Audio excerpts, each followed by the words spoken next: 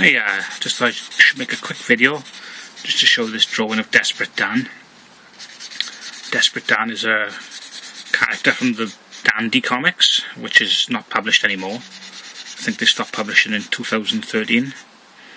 And he's a Wild West character from the comics.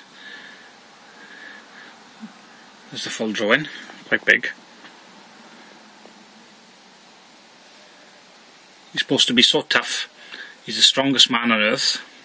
And he has to shave with a blowtorch. And he can lift a cow with one hand.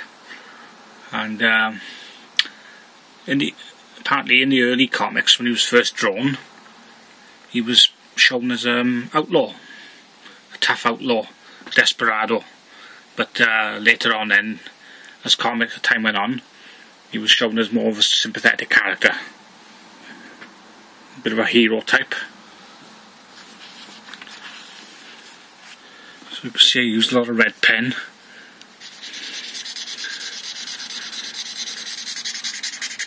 on this.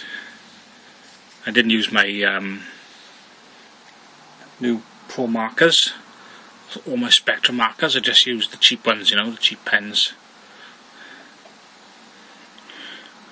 So there he is, Desperate Dan.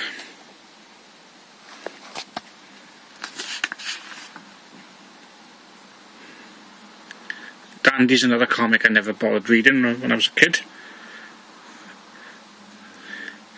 Superhero comics are my favourite. Hulk, Spider-Man, Fantastic Four. But anyway, there's the drawing. Hope you like it.